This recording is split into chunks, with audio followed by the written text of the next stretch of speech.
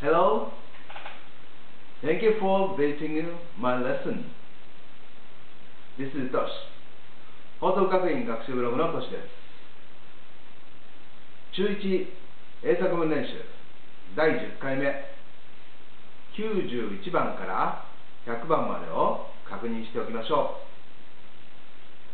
う。問題はこれでした。英語は2回ずつ言います。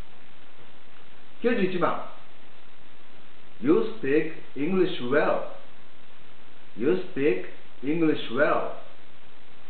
92番 What sport do you like? What sport do you like? 93番 I like basketball.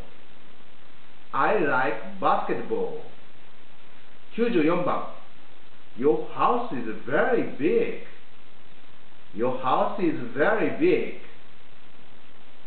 Sujababam, I know his family. I know his family. Jujurokbam, I sometimes write a letter.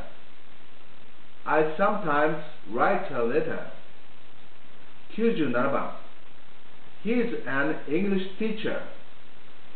He is an English teacher. 98番 Is Nancy at home? Is Nancy at home?